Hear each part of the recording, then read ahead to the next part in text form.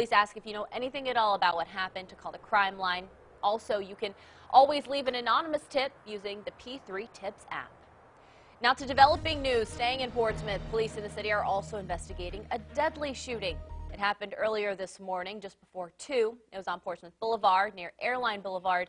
Our Madison Pearman was on the scene earlier today. And she brings us the story. Tonight, Portsmouth police are looking for who's responsible for a deadly overnight shooting, and you could be the key to helping them find the person who did it. Today, the parking lot of Griff's Restaurant and Sports Lounge in Portsmouth is full of cars belonging to regulars. But earlier this morning, it was crowded with cop cars.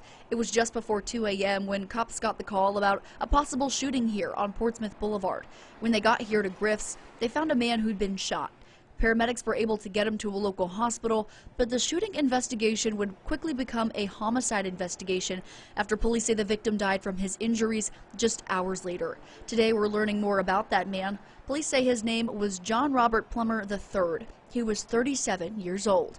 We're also learning more about the people police believe could be involved in taking his life. Just hours after the deadly shooting, detectives released these pictures taken from security cameras. They say this woman and a trio of men also photographed could be responsible for this deadly shooting. Detectives tell us they were last seen in a dark colored vehicle heading towards Chesapeake. Tonight, they're still working to learn their names and where they could be right now.